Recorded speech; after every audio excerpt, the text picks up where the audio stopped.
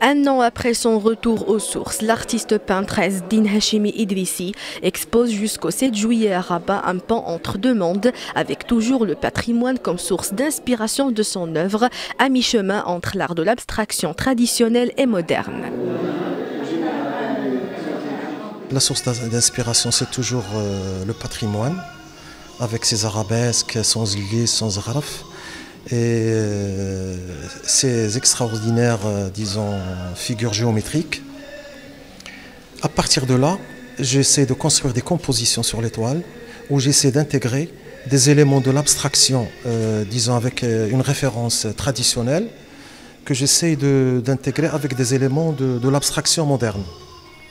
Ce sont donc des compositions qui, qui ont pour objectif d'aboutir à une sorte d'harmonie, d'harmonie aussi une sorte de réconciliation. L'exposition dans le vernissage a eu lieu vendredi soir à la galerie Nedira en présence d'une palette de personnalités du monde de l'art, de la culture et des médias, capitalise sur ses précédentes expériences tout en gagnant en maturité et en maîtrise technique pour reprendre les termes de l'artiste.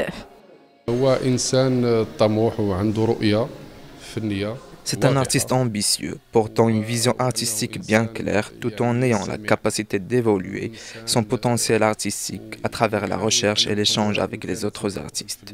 Ces dernières productions relèvent parfaitement de cette capacité.